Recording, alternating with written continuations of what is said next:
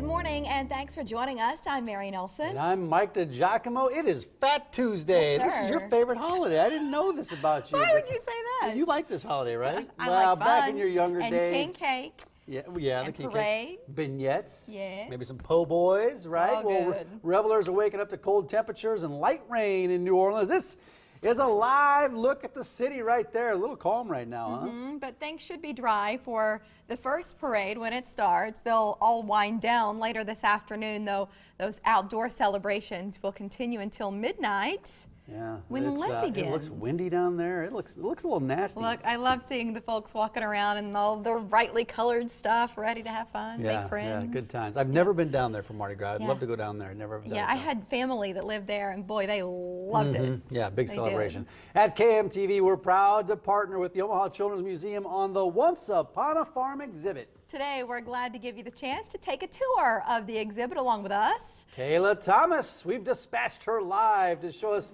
one of the most popular areas. Kayla, what's up? You guys, it is an exciting Tuesday morning here. It's Member Day, so they open an hour early for Zoom or for Omaha Children's Museum members. So we'll have some kids probably trailing up here in a couple minutes.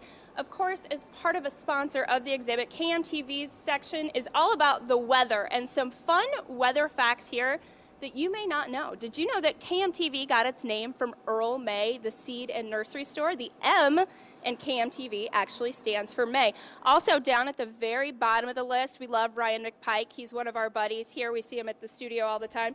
He became a weather nut at age five when he got out of school for two days because of a big snowstorm. So there's your weather facts. I'm going to show you guys. This is so cool. As you know, in the studio, the chroma key wall is one of the favorite areas for all the kids, adults, everybody else. I got to get down because I'm a little bit taller than most of the kids. So they have a kid-sized chroma key here. So look, you can pretend. Don't you wish that it was 72 degrees and breezy today? Obviously, this forecast for a little bit more spring-like weather. Here we go. So kids have the opportunity to pretend to do the weather themselves, and they can also learn about the role that weather plays in farming. Once Upon a Farm is open here through April 12th. So if you haven't come down to see it yet, less than two months to do it. If you have come down, a little motivation to come back because they got something new hatching over in the other area. I'll show you that in about 15 minutes or so. I wonder if you can guess what it might be. I don't know. I already know the answer. Uh, you do?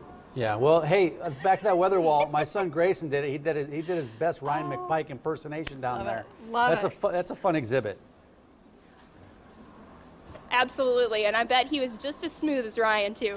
Oh, yeah. I don't know. I don't know if you'll be that smooth. Uh, thanks, Kayla. Thanks, Kayla. Lady Gaga is no longer caught in a bad romance. She's engaged to actor Taylor Kinney. Yeah, the pop star shared the news yesterday. She posted a photo of a ring on her finger and wrote, He gave me his heart on Valentine's Day, and I said yes. Yeah, well, the, she met the guy on the, the set of the You and I video, which was shot in Sarpy County. Mm-hmm. You remember? Now, this is kind of all sad to me. I mean, this is this is the video right here. But you remember our old buddy Luc Carl from Sarpy County? He used to date Yes. Mm-hmm. Lady Gaga. We had him on the show. Well, Luc, it is better to have loved and lost than to have never loved.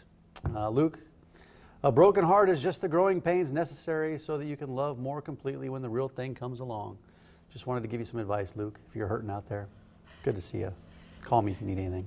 Okay. anybody? Thanks, Luc. He could be supportive and thrilled for her. He might be. He, actually, they're good What friends. Is ha- I feel like I'm living in a parallel universe. well, you know, I just Luc and I we bought. it. I just want to make sure he's okay. You're Actually, Luc's mom watches this show, right? Yeah, it's great. Uh, call us if we if Luke needs to talk, okay? anyway, an Omaha grandma named Deborah Harris is going to be on Let's Make a Deal today. Oh. Action 3 News reporter Lindsay Thies will be watching the show with Deborah and her family. Yeah, and you can get their live reaction on Upfront at 4.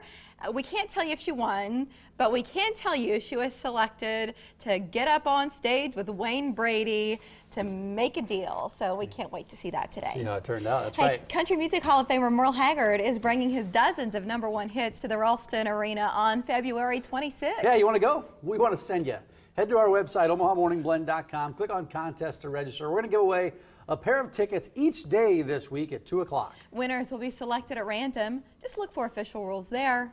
The bubble, it's online. Okay, so you ready? We're going to get you dreaming. We're going to get you dreaming Mm. about a Western Mediterranean getaway, including the countries you can visit and learn about making that trip more affordable in Travel Tuesday. First, let's swing by the Nissan of Omaha Green Room and see who's hanging out today. So, in addition to our leisure travel specialist, Ty Gals, we've got a couple of musicians in the house. Matt Whipkey's absent.